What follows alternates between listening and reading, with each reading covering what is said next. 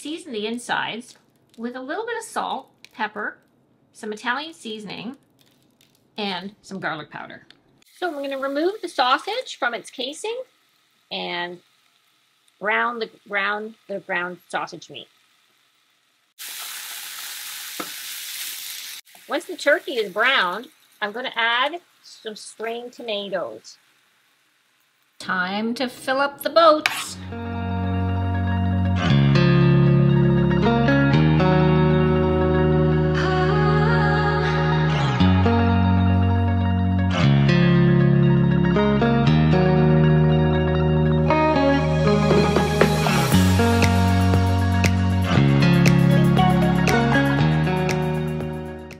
Leave those in for about 25 minutes until the zucchini is nicely tender.